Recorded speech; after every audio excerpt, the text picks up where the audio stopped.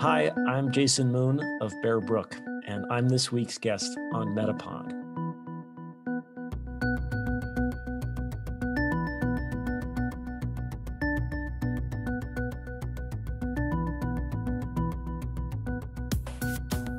You're listening to Metapod, where we unpack the web's most interesting podcasts and the stories behind them, hosted by Wendy Morrill and Kevin May.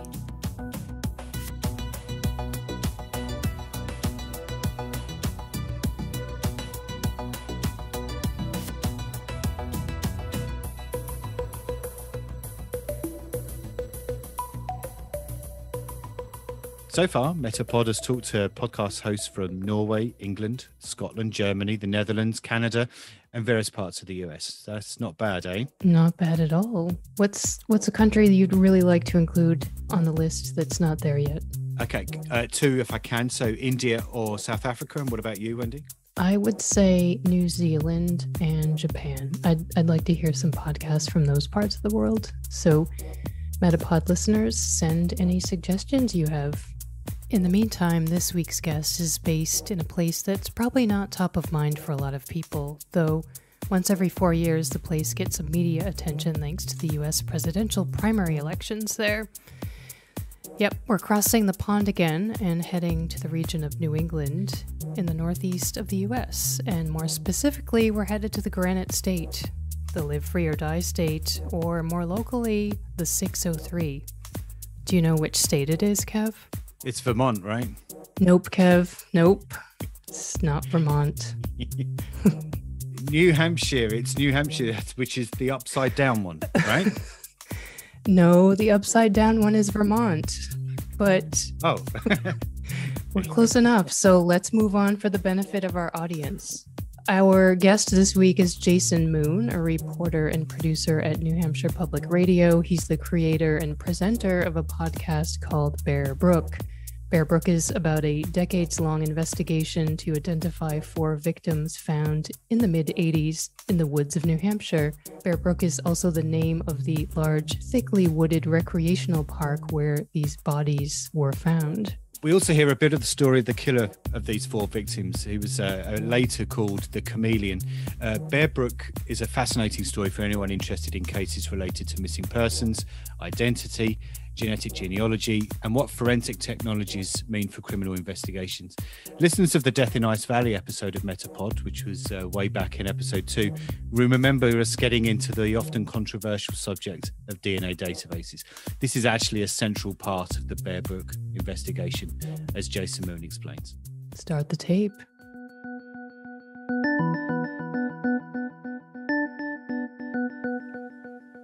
Jason, welcome to Metapod. Thank you for joining me and Kevin to talk about your podcast, Bear Brook. Thank you for having me. Great. Uh, you're tuned in from New Hampshire, I'm assuming. That's right, from Concord, New Hampshire, just a few minutes away from the station, New Hampshire Public Radio, where I used to go uh, to work. Um, okay. But now my office is also my apartment. So that's where I'm calling you from today. Okay. Jason Moon headquarters, then. Here we That's are. right. Yes. So I grew up in New Hampshire, uh, or the 603, as some of us like to call it. Um, and when Kevin and I actually started Metapod, I asked for recommendations from my friends uh, for the best podcasts that they had listened to.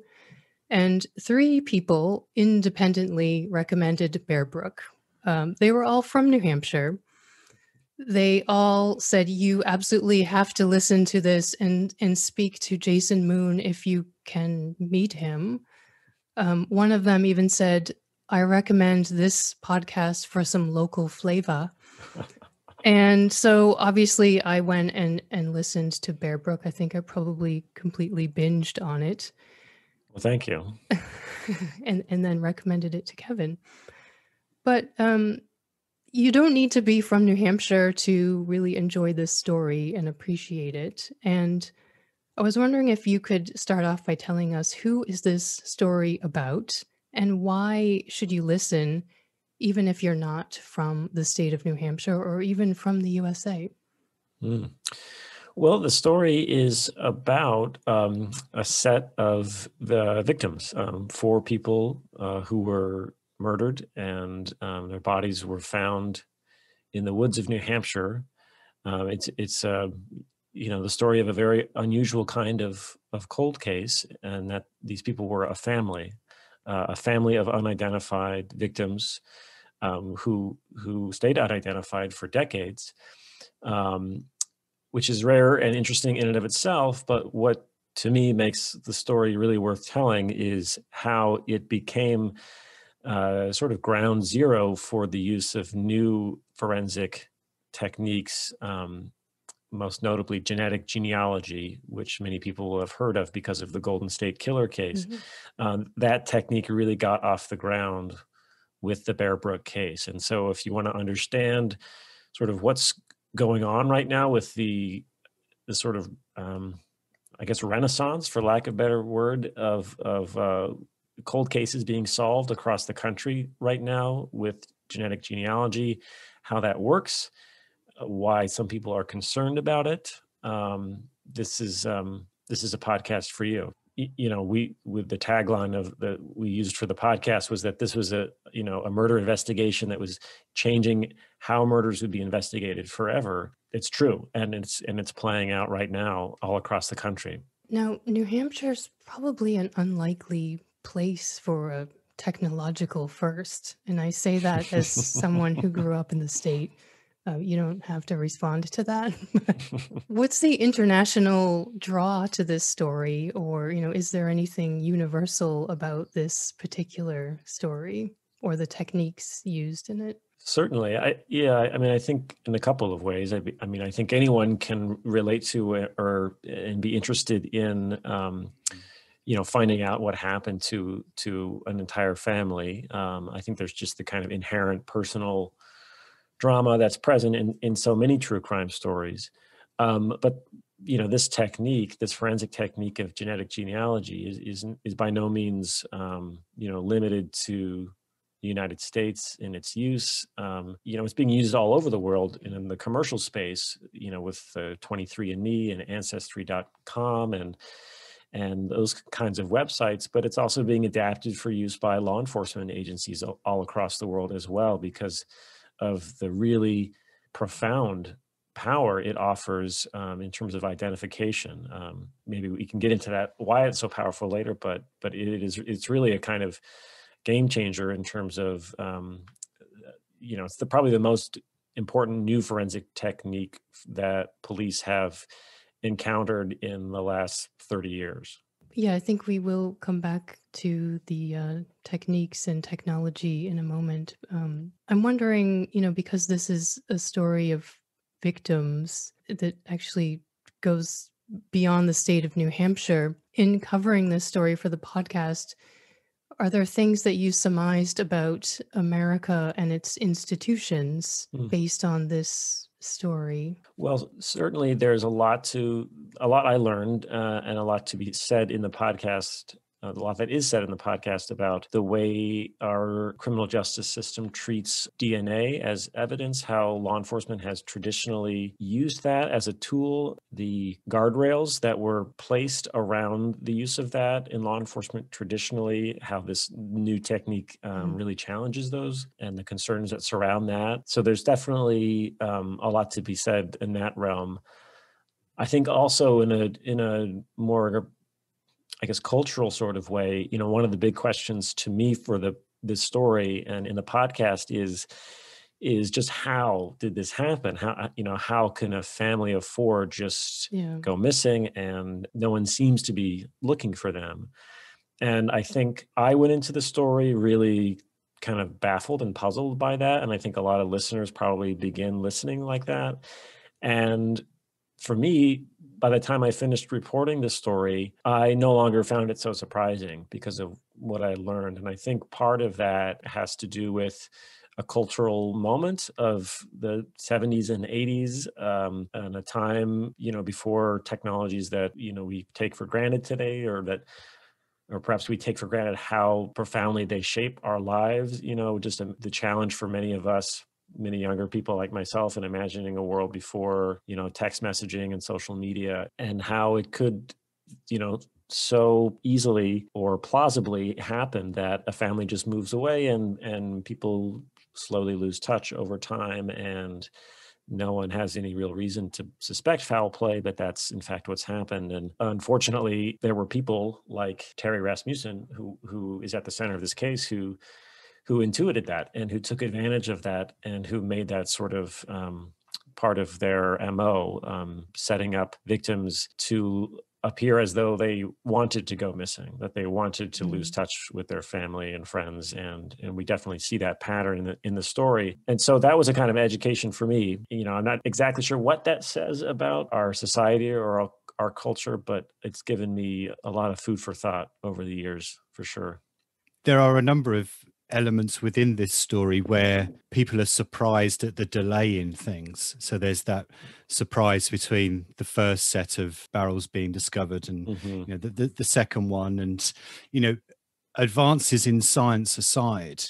Did it surprise you when you first started doing the story for New Hampshire Public Radio that there was this incredibly long time period between the first people going missing and then being discovered and then the second group of bodies being discovered. In some respects, you think, you know, that's just unbelievable that there was this time lag.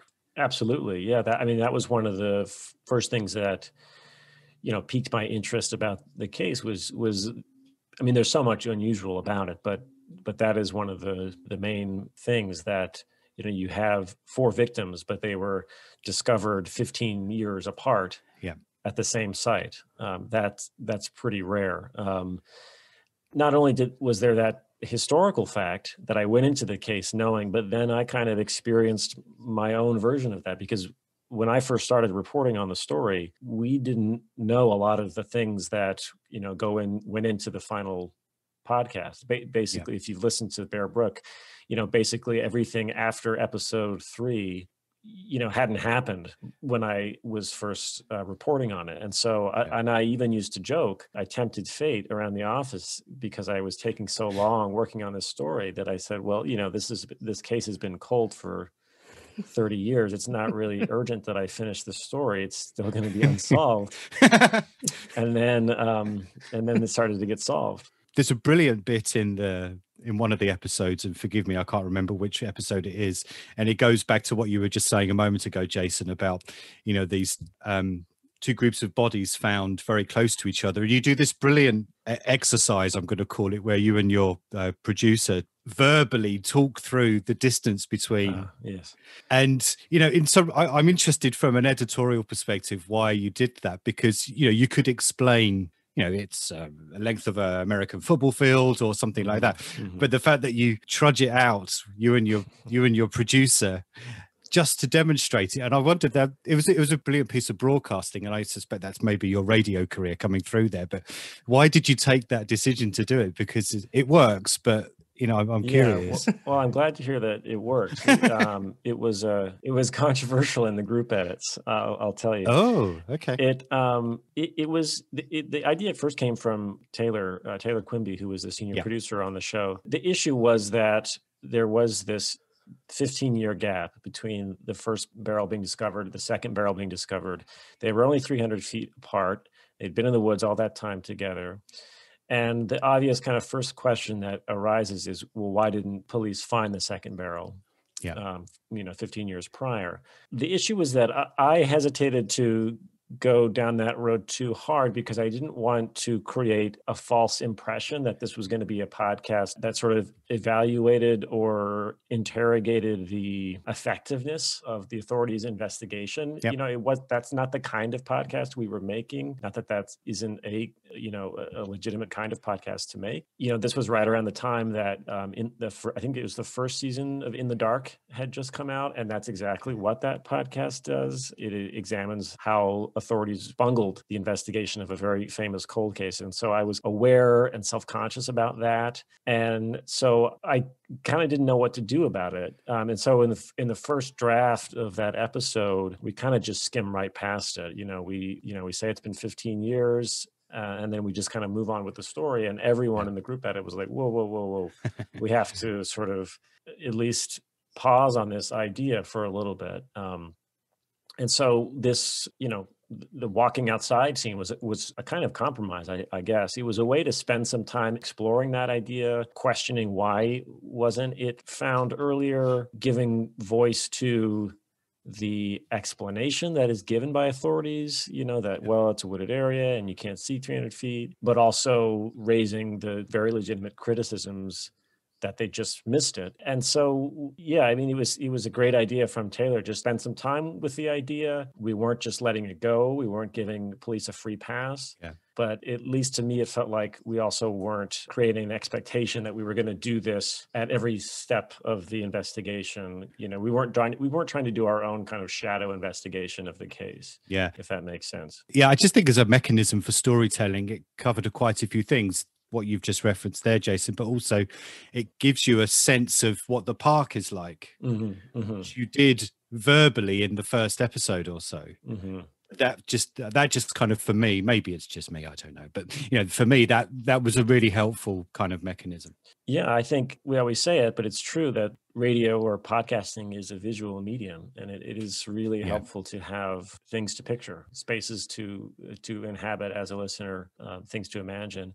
And I think it also helped that when we went out there, we were actually both genuinely surprised by our experience of it. You know, the reactions that are on tape are are genuine. I was really surprised at how kind of hard it was for us to find each other, like two people shouting at each other in the woods. Yeah. 300 feet away you would think i mean maybe we were we were just both particularly bad at it but we we had a hard time finding each other. Um, and and that did kind of you know it put a different uh, you know shade of thought on that whole sort of controversy about how egregious was it that they missed the first barrel. Yeah. And i think that's all we wanted to do. We wanted to let people make up their own mind but you know explore the the different uh, explanations for what happened. I think another nice demonstration that you make is your 23andMe DNA sample. Um, we hear you spitting, and then later, um, you and yeah, sorry about that. you and your colleague are reviewing your results. Apparently, you're part Neanderthal. Yes. I was wondering if you've met up with that part of the family yet. no, they haven't reached out yet. Next podcast, maybe season two. All right. Well, I think that this part actually comes after, uh, maybe I have that wrong, a moment where you sort of go into the ethical decision that we all have about whether to submit our DNA to these commercial platforms like Ancestry.com and 23andMe. You talk to Barbara Rae mm-hmm. Venter. Um, I'm going to call her the rock star genetic genealogist here. Um, and she kind of even makes a plea as to why you should do this. I'm assuming, you know, you chose to talk about your decision to do this a bit on the podcast for a reason. Can you talk a little bit about that? Yeah, sure. We we, you know, first and foremost just wanted to demonstrate, you know, what it's like to to take one of these tests. Um, you know, just kind of give people a sense of of what you see when you get your results back and sit down at the computer. And then for people who've done that, uh, which is a lot of people, we wanted to, you know, underscore the connection between that thing, which is very, you know, commercial and mm-hmm. and mundane in a way, and kind of silly even, is is connected to the very sober, serious stuff of this story. You know, we wanted to connect that Christmas present you got for grandma last year to uh, solving decades old cold cases like this because that is that's what's happening. That's that's the truth. You know we wanted to c- connect that up for people. Once we decided we wanted to do that then there was really only one choice for whose dna we were going to put in the tube. So uh, you know that was the the hazards of being a, a podcast host about genetic genealogy i guess you can't really get away without testing your your dna that said i did not engage with the results of that okay. DNA test other than that time we taped it. Okay. I actually have um, little interest in it myself personally, which is maybe um, people might find ironic. But yeah, I, I I mainly saw it as a as a storytelling tool and technique, and mm-hmm. not something that personally interests me very much at all. I mean, your job as a reporter with these types of tools becoming available and to more and more people, does that make it more difficult for you? I'm, I'm thinking about my own experience having done this and actually d- discovering hmm. a piece of the family we didn't really know existed. And, you know, from that point on, my mom just believes I go into this website and answer her questions. you know, it's, it's like, it's, it's just there now that mm-hmm. all the answers mm-hmm. that none of us actually knew we had to ask questions mm-hmm. about are there.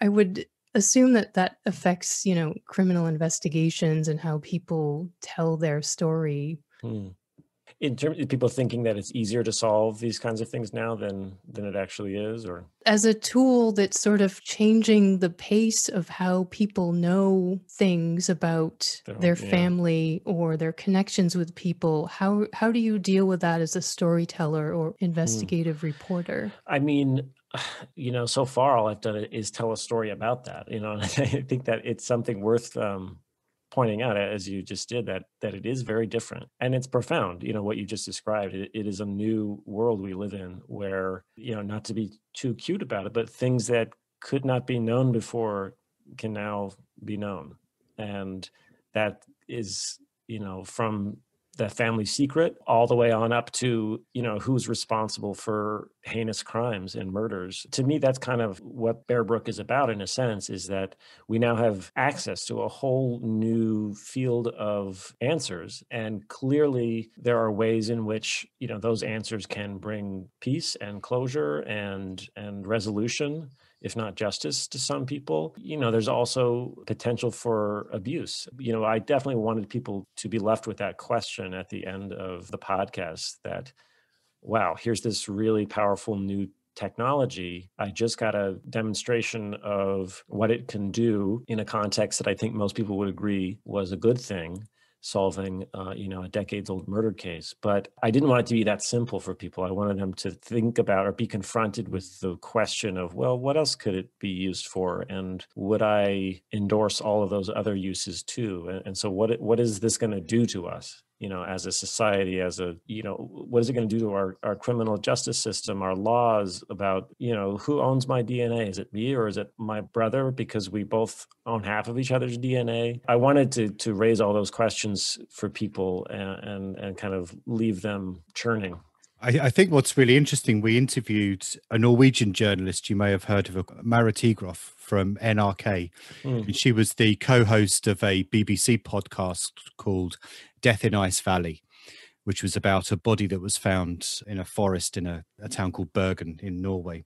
They were in the same kind of situation, except their investigation or the police's investigation was unable to use these types of mm. services because of Norwegian laws. Mm. And there is a case going through the Norwegian courts and has been for the best part of 18 months about whether to allow the police to use commercial databases. Oh, interesting. Yeah. And I, I think what's, what is interesting is that, you know, the US has gone you know embraced it it's great let's you know it's helping us solve all these cold cases and connect people in weird and wonderful ways. Mm-hmm. there are other countries that have taken a, a, completely different view to it. Yeah. That's more of a comment than a question i guess but an interesting one. Yeah well no it's interesting to see. Yeah and yeah if, if we can kind of change uh, change tack a little bit, I mean, you met some interesting, I guess, characters in inverted commas along the way. I mean, one of the ones that uh, who I found very charming and very interesting was the the cop that said "goofy" all the time.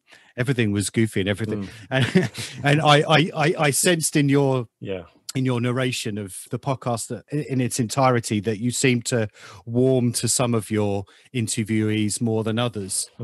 Eh, how does that kind of how do you kind of go through that? I mean is it your natural kind of personality that you kind of seem to get on with some others than or is it more about what you're actually talking about if that makes sense? Yeah that's a good question because it gets at the at the space where the podcast storytelling what you might call the art yep of it meets with the journalism of it. Those things can obviously can complement each other but can also come into conflict with each other. And so it's always a kind of a fine line a dance between those two things. One of the things i learned about you know working in long form being a you know a host of a, of a story that you're going to be taking listeners on for this long was that i had to sort of show parts of myself. It was kind of a hard thing at first in the in the first drafts. You know that was one of the key pieces of feedback I got in the group edits was just like kind of who are you?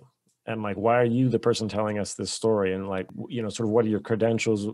you know, not in a formal way, but um, people need to know something about their narrator in, mm-hmm. in these kinds of stories we you know tried to do that with a really light touch throughout you know in the first episode that it means you know there's a couple paragraphs where i just kind of explicitly tell you who i am what i was doing why i got interested in the case. And then throughout you know we wanted to weave in the kind of natural rhythms and narrative of the reporting process. And so i think with the interview with roxanne you know we talk about how traveled some distance to go see her. It was you know a ferry ride and she just moved into her house and she set yeah. up you know some lawn chairs in an empty room and you know we're using those using those moments in a couple of ways you know for for one we are giving our listener a sense of space and place and like we were talking about earlier something to imagine. So you know you can kind of see me and roxanne sitting in these lawn chairs you know the rain you can hear softly outside the window. That's we've created a moment we've created a scene even though we're just sitting down for an interview. And that's um you know one of the things that's tricky but also really powerful about you know long form audio storytelling is that you need scenes to get you through the story to propel the narrative you need to take your listener into places my sort of personal reactions or or takes on people were sort of you know weaved into those moments so that you could sort of imagine me in that scene because you know who i am as a character now I'm in a place, and then I establish uh, Roxanne as a character by talking about how she says "goofy" yep. a lot, you know, often what we're doing is we're doing narrative work on the front end that we're going to get a payout on later. So when we introduce Roxanne and we point out how she says goofy as a way to describe these all these crazy things she's seen as a cop over many decades, yeah. you know, that sets you up for, you know, 20, 25 minutes later when she's describing coming across the scene of uh, Eunsoon Jun's remains and she uses the word goofy in that phrase and suddenly yeah. it's imbued with all this extra meaning because you know that that word is an important word for roxanne and the way she says it in that scene and the history that you've had with her makes that moment more powerful so but you know we're often trying to get people to invest in moments characters so that later moments yeah. will feel more powerful yeah it's just good production and good narration if nothing else you know well, thank you but I, I another editorial thing that i'm very curious about and i said to i said to wendy when we were chatting last week about the this interview today that this this one i found perhaps the most fascinating element. I mean i've been a journalist for 25 years and understand often where you can and can't go with things. And in one of the later episodes you talk about the owner of the campground. Yeah yeah. and how close he was to the killer and there are a lot of unanswered questions and also that he declined to be interviewed for the podcast. You know, yeah. and there is a one hell of a lot of implication in the way that's told that there is a a connection that may have a little bit more substance to it. Mm-hmm. Now, here in the UK, we have various things around media law and libel mm. law and all those kind of things, and I'm absolutely fascinated.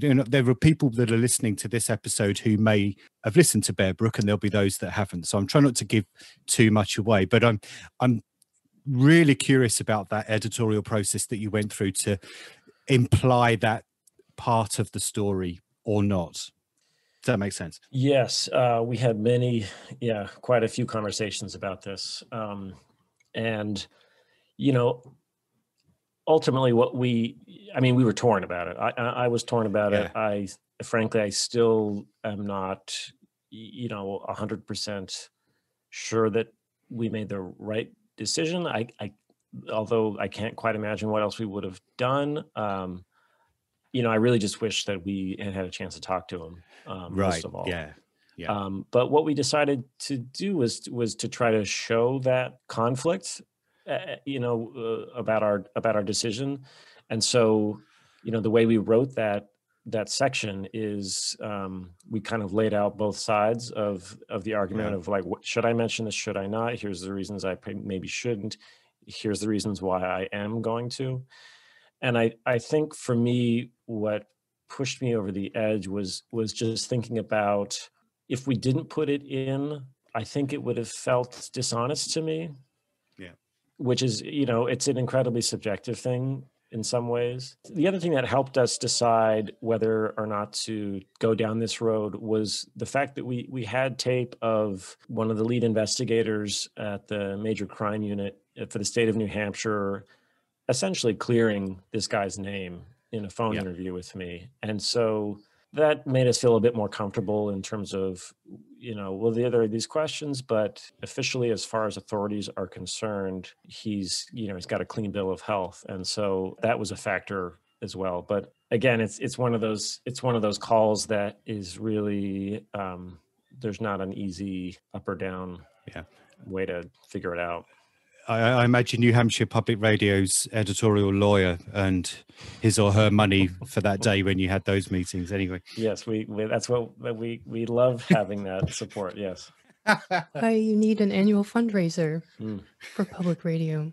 that's right One of these nice little details that shows a little bit about you that you weren't afraid to leave in. You're speaking to Diane, I believe it is, the, the daughter of Terry Rasmussen, and she describes the visit he makes in Arizona with a unknown woman who has bouncy but not Farrah Fawcett hair. You leave in this little bit where she doubts whether you know what that means or not, if I'm detecting that right. And I yes I wondered, is that a sort of worry on her part that you're young and might not know who that is? And I mean, my question is not how old are you, but how has it been um, received with you approaching people to talk um, about the case for a podcast? You know, this new medium that maybe people don't even understand or know about. Yeah, yeah, that's funny. I I have I forgot about that tape. I haven't thought about that tape maybe since we put that episode together. um, but yes, that is definitely what she was. She was like, "Mm, maybe you don't know who Farrah Fawcett is. Um, but yes, in terms of approaching people, you know, uh, and saying I'm doing a podcast. Well, first of all, a lot of the interviews were done before I knew we were going to do a podcast about it, so uh, that um, simplified that to some extent and you know there's definitely a bit of uh i guess tactics that we will employ when we're when we're making those first uh, requests for interviews with people you know do we stress that we're from new hampshire public radio or the local npr station or do we talk about that this we're working on a long form serialized podcast Yeah. and you know we're making assumptions about whether what people will know about what people will um you know because often you only have you know one email or one 20 seconds on a phone call to to get people to believe that you're legitimate and trust you and want to talk to you. And so yeah there's a lot of wordsmithing sometimes about what are the first five words i need to come out of my mouth Yeah. to get this person to respond to me. That's you know even harder when you're doing this kind of story where you know for a lot of the sources the subject matter is is deeply personal and painful Yeah. and traumatic and you know what we're asking them to do in some cases you know to relive that is um is a lot to ask Yeah. and uh, and we wanted to be sensitive about that and um you know and in, the, in those cases you know generally we wanted we wanted to impress upon them that the reason we were reaching out to them was so that you know their relatives could be um you know more fully realized in the story as a as a person as a human with you know a history and agency uh, rather than you know simply a victim or you know just some event in the life of a of a serial killer you know that that kind of thing which i I- you know the, the all the kind of pitfalls that a lot of true crime falls into you know we were we wanted to signal to people as much as we could that we were aware of of those and didn't want to perpetuate them So, just like New Hampshire being an unlikely place for first technologies to be applied in DNA forensic um, investigation, you've also broken new ground at New Hampshire Public Radio with long form storytelling. Hmm. And I understood that this podcast actually started through an innovation fund. it's complicated um, but the the short of it is is that to do bear brook we kind of had to um, it was a process of scavenging you know i was the education reporter when i first started on bear brook um, and i was filing what we call newscast items you know 30 45 second stories you know, on a daily basis and was trying to do this podcast basically on nights and weekends. And then that, that went on for a couple of years. In fact, um, it was more than two years before we kind of got serious about it. And some people shuffled around to backfill for me. I was given six months full time to work on it, which was a huge mm-hmm. gift. And I got support in uh, producer Taylor Quimby, who became a really integral part of the production process and um, you know six months later we produced this you know what what is is now you know the most listened to thing that new hampshire public radio has ever produced. And so then that led to a second set of questions which was well hmm, maybe we should do something like that again. Uh, and then we did with um, a very different kind of podcast. It was still narrative but it was um, uh, focused on the the presidential primary which is you know the, the one thing that kind of makes New Hampshire of, of national note every four years anyways. And we were able to do that but again it it required you know pulling people off their normal duties and um, you know we lost a lot of hair over it and it just it they're just they're really labor intensive projects incredibly labor intensive to do these things finally just this year in fact we we've now created a, a new part of our newsroom that um, at the moment is is me and one other colleague, Lauren Chooljian. This is now you know our entire responsibility is is just to find and tell long form stories, and it is for a small public radio station with a newsroom of about ten people is definitely a leap of faith. It's a risk. It is not, you know, traditionally what small public radio stations have done. All that being said, there is a growing sense not just at NHPR, but across the whole public radio system, that this is kind of the future for how you know small uh, stations stay relevant because you kind of get deep down into the public radio politics of it all. But it used to be that small public radio stations existed to be a conduit for content from national public radio. Yeah. yeah. We don't need small stations to get NPR anymore, right? There are podcasts, there's the internet, there's satellite radio. What people do need though is local journalism and newspapers of course are folding left and right. There's a lot of talent out there that um, you know has been laid off and people are hungry for in-depth you know reporting about their own community and so you know that's what we want to do and and to tell stories you know about a local community that are of interest to people anywhere you know i think and, and bear brook and and we stranglehold i think also accomplishes that in that you don't have to be from new hampshire to be fascinated by these things but they take place here mm-hmm. and i think probably anywhere you go in the country or in the world you know there are a number of stories in in that corner of the world that would be interesting to anyone anywhere that could hold a, a multi-part podcast series at least that's what we're hoping. we're hoping there are more than just one. So, anyways, that's a long way to answer um, kind of what we're what we're trying to to do at, at New Hampshire Public Radio. I think it's it's remarkable, and that your team has done an amazing job. I Thank you. I also wonder um, if you feel constrained in any way, knowing that you're trying to create uh, for the local community. Yeah, Yes, it's certainly a constraint on the kinds of stories we can do. You know, maybe we find a great story and then it leads us to the source, you know, says this all happened in Philadelphia. And then we're kind of like, ah, I guess we can't do that one, you know.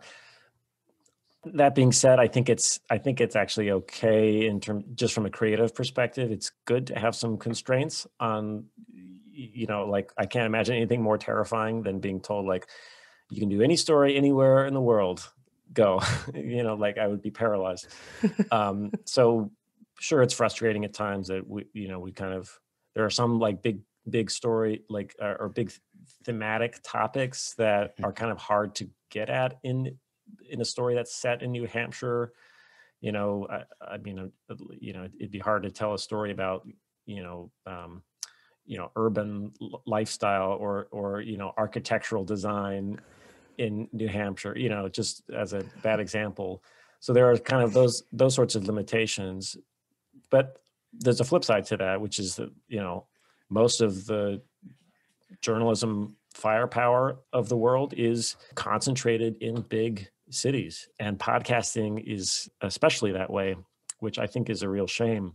On the other hand, it, it creates opportunities for me because, you know, there might be 70 people making podcasts at, at Gimlet or WNYC, but there are two people making long form podcasts in New Hampshire. Yeah. Um, uh, and I'm one of them. Yeah. Do you feel constrained in the pace or tone that you might need to take in New Hampshire or No, I, I don't know. And in terms of when we think of our audience, we want it to be accessible to a national audience. So we don't assume geographic knowledge or anything like that. We, you know, we want it, we want it to, on the other hand, we don't want to alienate our New Hampshire audience. You know, we, we want it to make sense to people from New Hampshire why we're telling this story, but we, we don't ever want that to be a barrier to entry. You don't need to turn it on and, and be, um, um, need to be familiar with anything about the state or anything like that to be able to to get something from it. Amen to almost everything that you've been saying. Anyone who champions oh, lo- local journalism, I did my stint in local journalism many years ago, and I loved every second of it. Um, yeah. I, I'm interested if we can. I mean, many true crime podcasts often try to delve very deeply into the reasons why the perpetrator did what they did. Yeah. You know they'll get criminologists on and social psychologists and etc etc to give their their kind of analysis of it. I mean Bear Brook is very and i think commendably very factual. Thank you. And i wonder whether that was a a deliberate was it a deliberate decision? I, I, know you talk a bit about uh, rasmussen's military history and stuff like that. I just wonder was it a deliberate editorial decision not to try and unpack his potential motivations for what he did to commit those horrendous crimes. Yes, it was. It was. Um, it's funny to say this now, but for a long time, I, I didn't really admit to myself or even describe it to others as a true crime story.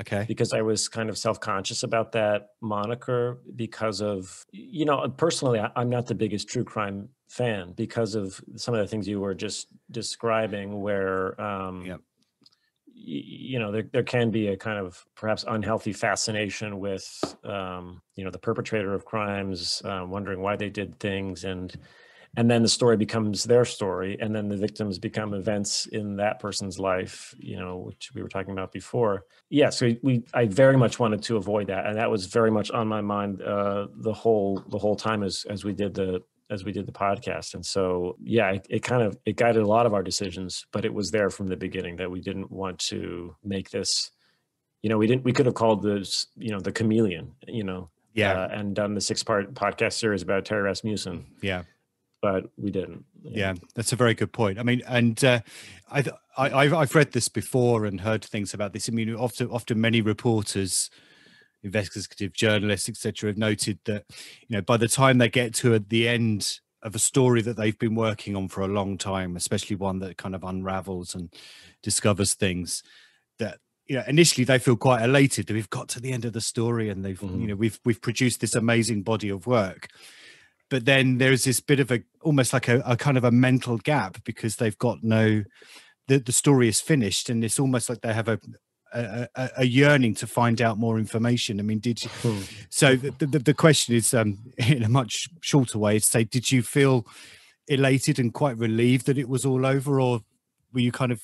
I wish there was another kind of element to this story that we could. I know there have been updates with kind of yeah when police have done press conferences, but you know what I mean. It's yeah. it's not. It's not. Uh, I'm not saying that I, you, would have felt like that, but you know what I mean. Yeah, I understand that that impulse. I mean, I think that's why a lot of us, you know, like to be reporters. You know, as we we enjoy the kind of yeah the thrill of the hunt, for lack of better phrase, of you know finding out new information. That said, I think with this story in particular, I w- I was by and large uh relieved. Yeah, you know, when when um you know, and it's still it's still not entirely wrapped up. Uh, there's still you know one victim yeah. who who remains unidentified. But you know, when we got the three names, um, you know, there was there was a funeral which I attended. There was the family came to New Hampshire. There were there were all kinds of um, sort of acts of closure. Yeah. that were happening, and as a journalist covering them, I think they also kind of rubbed off on me. At a certain point, it felt to me like, well, we've really kind of accomplished almost everything we wanted to with the story, which was you know all the big questions have been answered. We we thoroughly explored the promise and peril of genetic genealogy. We now have um, most of the identities of the victims, which was kind of the driving question of the story. And so, you know, there was a moment, you know, after we published the seventh episode where we were wondering, should we keep going? I mean, we could the the family of um, of the of the victims in Bear Brook, you know, we we really didn't spend too much time with them. We could explore their history and learn more about, you know, what led up to the initial crime. Yeah. But ultimately, we just we just decided that now that we know who they were and, and have identities granted to them, they kind of they don't really owe us anything else. Do you know what I mean? Like we, it, they're Yeah. have a right to be private people again at, at that point. I think you know just because they were murder victims doesn't mean then it's okay for us to sort of plumb the depths of their family history and and whatever um, events may have led up to that moment. I think to the extent that they were victims in a case that that was of national interest that symbolized a lot of things you know it was something worth reporting on i think once once they have names then they become to me anyways like any other private citizen and i think the the reporting value the news value of kind of going deep on their backgrounds was no longer there for us and so we just decided to you know let it be at Yeah. that point Interesting. To go a little bit further with that, some other podcasts are really involving listeners in crowdsourcing for tips and leads and Hmm. this sort of thing. Um, I don't think that's something you, you chose to do in this case, um, Mhm. though it doesn't mean that you probably haven't received information like that.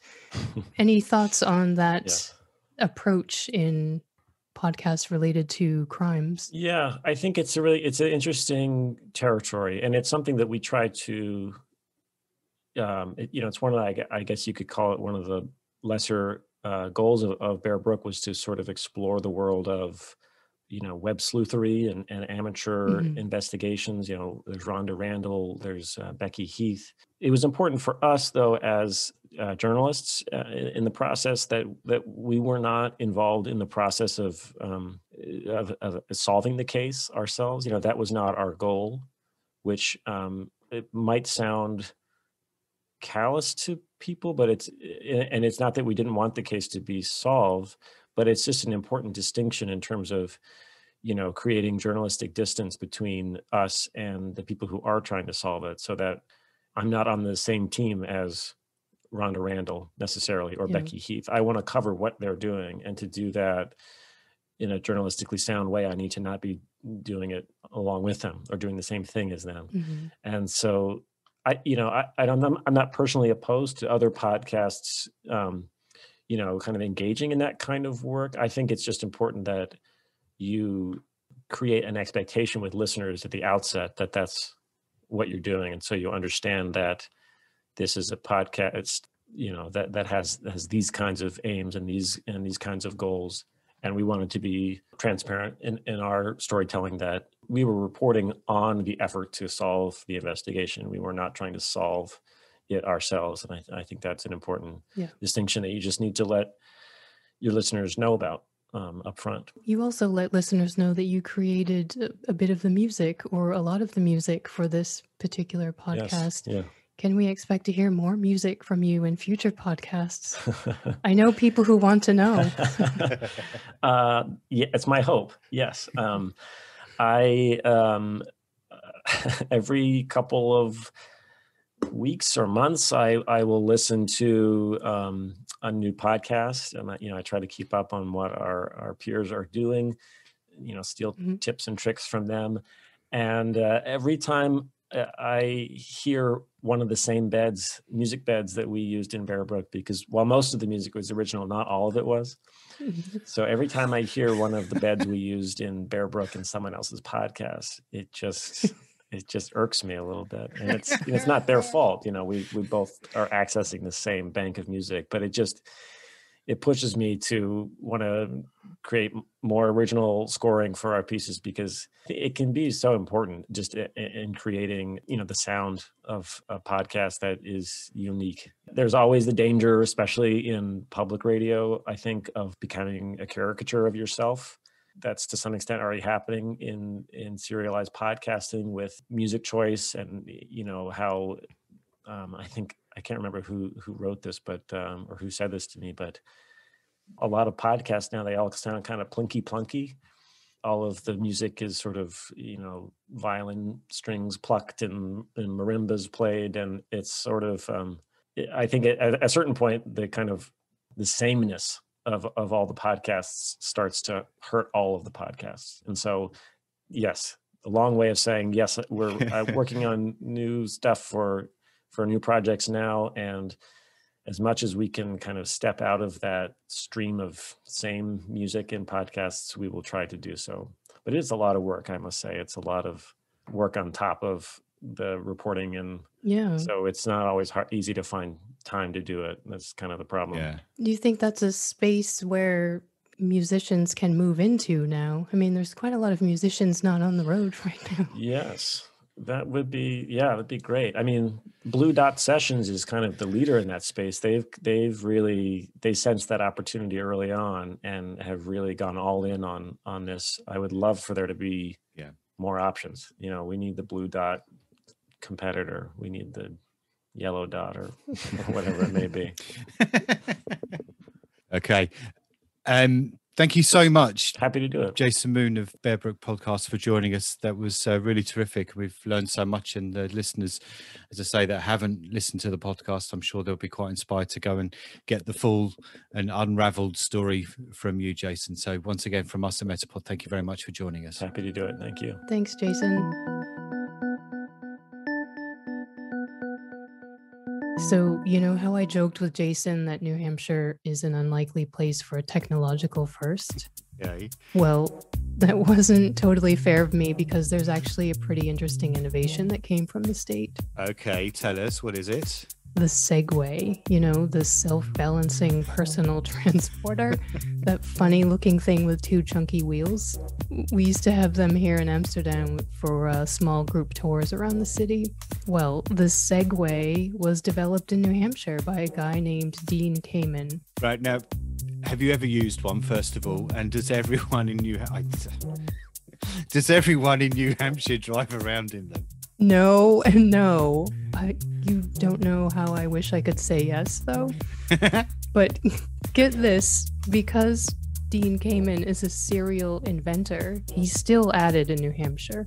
His latest venture is engineering and manufacturing human organs. What, uh, okay, so better to be a serial inventor of, things that bring life than a serial killer, right?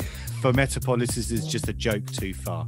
Anyway, Well, aside from all that great science and tech in New Hampshire, we should give a shout out to Jason Moon and his colleagues, as well as the supporters of New Hampshire Public Radio, for investing in local and long form journalism in hurrah! the state at the station. Yeah, hurrah. We wish them well with their new project, and uh, I expect they'll be pretty well received with that, if Bear Brook is any indicator. If you're interested in the new project Jason mentioned in our interview, it's called Document at New Hampshire Public Radio, and you can check that out on Twitter at NHPR Document or nhpr.org. You can find more information about the Bear Brook podcast, including its original music, transcripts, timelines related to the uh, case at bearbrookpodcast.com. You can find the podcast also on Twitter, which is at bearbrookpod. As always, you can find all the links we mention here on Metapod on our website. So, Kev, tell us what's coming next week. Yeah, so next week, Emily Strasser, narrator of The Bomb, is featured on Metapod. Uh, the Bomb is a seven episode story produced by the BBC World Service about the development of the atomic bomb and one of the scientists closely involved, that's Leo Szilard. Emily has a family connection to the story, and we talked to her about that and a few other things uh, like climate change. All right, that sounds pretty good. So, uh, that's it from us for now. And we'll see you next time.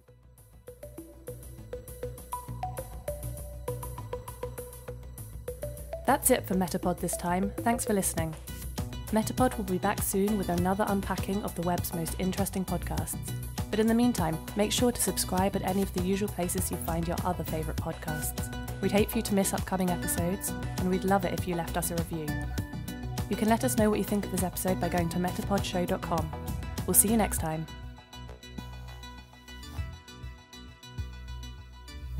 Metapod is produced by Wendy Morrill and Kevin May.